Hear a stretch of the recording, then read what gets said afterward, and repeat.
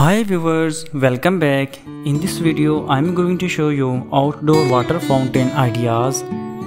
Make your own outdoor water fountain to add character, charm and serenity to your outdoor space. Outdoor fountains can transform your backyard into a soothing oasis, making it the perfect spot for your evening yoga practice. Fountains situated in front of your house easily boosts its curb appeal.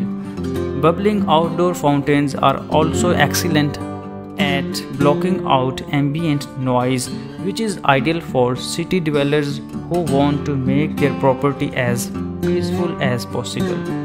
You can even make a tabletop version if you live high up in an apartment building to provide the same effect.